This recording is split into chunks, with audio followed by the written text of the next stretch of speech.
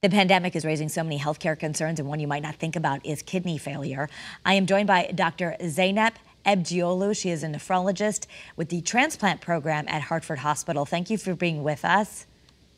Thank you. Thank you for having me. Are we seeing more kidney failure as a result of COVID 19? Uh, yes, so that's it's very interesting. It's very surprising that we're seeing so much kidney uh, failure with the COVID nineteen. We're seeing a lot of surprises with COVID nineteen, including the cardiac and the coagulopathy as well.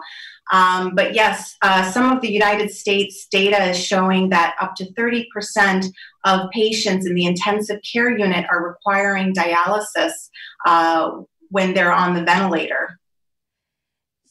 If you already have kidney issues, does that make you more at risk for COVID 19 or complications?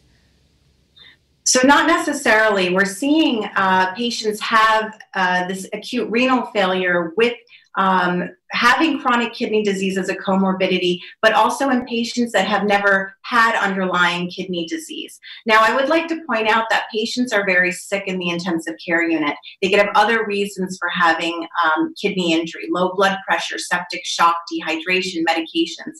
But there is something different about this. Sometimes when on rounds, we find that there's there's something that doesn't quite make sense.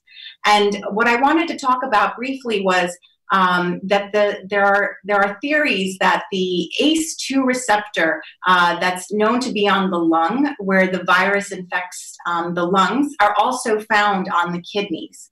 So last week.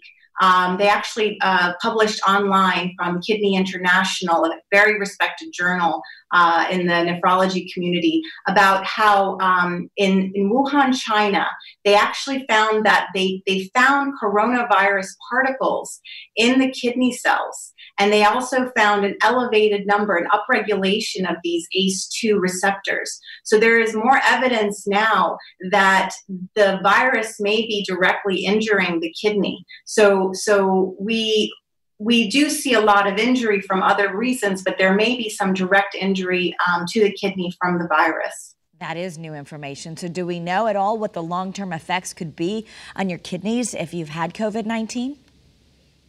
Uh, so the, we don't know the natural history. Uh, we know that some people do get better and come off of dialysis, but what you know, even if you don't have COVID, when you're in the intensive care unit and you need dialysis, um, you can come off the ventilator, but you may still need dialysis for a period of time. So we we unfortunately don't know the natural history of how this will will turn out, but there may be some chronic kidney disease that we see as a result of this infection.